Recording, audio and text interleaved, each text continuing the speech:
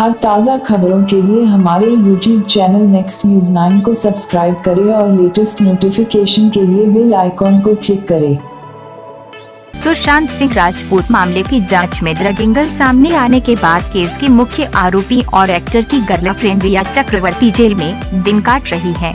हाल ही में दूसरी बार उनकी जमानत याचिका को कोर्ट ने खारिज किया।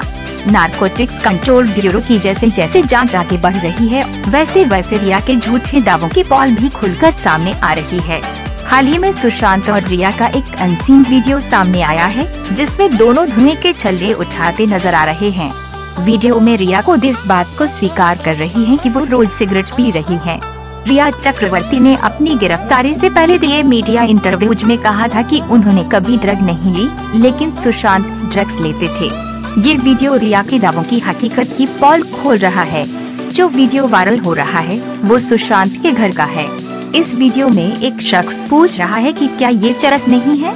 तो सुशांत मज़ाक में कहते हैं कि ये भी फ्लेक्स है। वहीं रिया कहती है कि ये रोज सिगरेट है।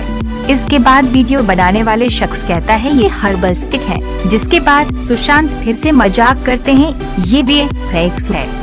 वीडियो में रिया सुशांत के आई लव यू कहती हैं। इसके जवाब में सुशांत कहते हैं आई होप सो रिपोर्ट के मुताबिक, जारी किए गए वीडियो में सुशांत एक भक्ति गीत गा रहा है और वह नशे में लग रहा है। वीडियो में उनके फ्लैटमेट सैमुअल और सिद्धार्थ पिठानी दिखाई दे रहे हैं। रिया ने हाल में अपनी जमानत याचिका को लेकर कोर्ट को कहा था कि एनसीबी ने पूछताछ के दौरान उन पर आरोप कबूलने का दबाव बनाया था और इस पूछताछ के दौरान कोई महिला अधिकारी मौजूद नहीं थी।